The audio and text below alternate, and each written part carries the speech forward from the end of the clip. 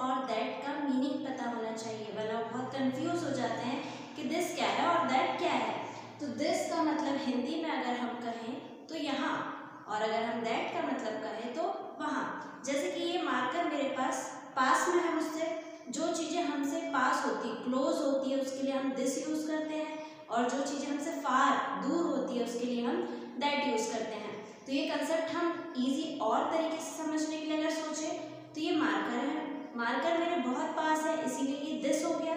Board मेरे पास है तो दिस इज़ अ बोर्ड क्योंकि बोर्ड मेरे बहुत पास है।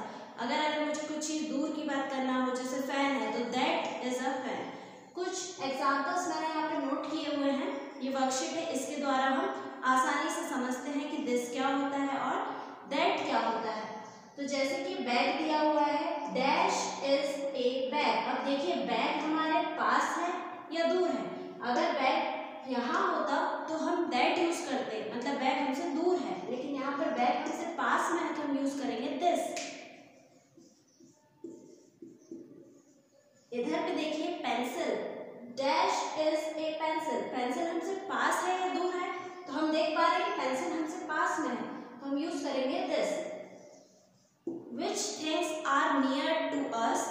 We use this and the things which are far from us we use that ठीक है? इंग्लिश में वही मतलब है और हिंदी में दिस मतलब यहाँ दैट मतलब वहाँ। जैसे कि ये मैट है डैश इज़ अ मैट तो हम यहाँ पे क्या यूज़ करेंगे? बताइए। दिस क्यों? क्योंकि मैट हमारे पास है, दूर नहीं है। नेक्स्ट पेज पे हम देखेंगे। डैश इज़ अ स्टार अब स्टार यहाँ नहीं बना। अगर यहाँ बना होता तो दिस आता, लेकिन स्टार यहाँ बना है। तो हम यूज़ करेंगे दैट स्टार हमसे दूर है।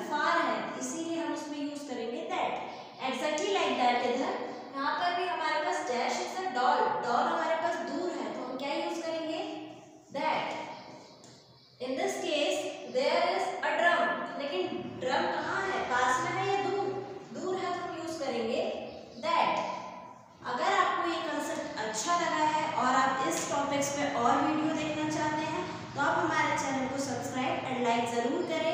टैगोर पब्लिक स्कूल आपके